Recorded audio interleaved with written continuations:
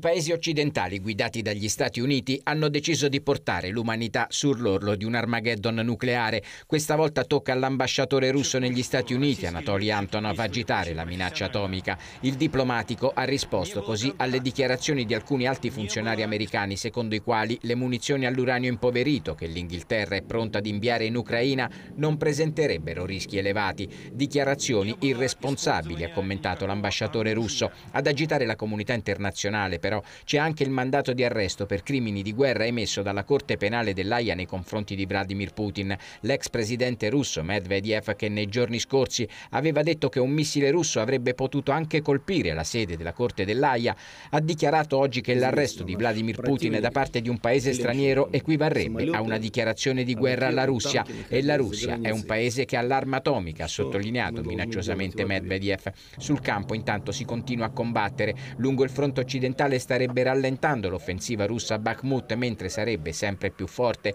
la pressione nella vicina Avdivka, dove nella notte sono morte due persone per un attacco missilistico. Due civili, come civili, erano le otto vittime di ieri nel dormitorio di una scuola nei pressi di Kiev e le due persone uccise da un razzo sparato contro questo condominio a Zaporizhia.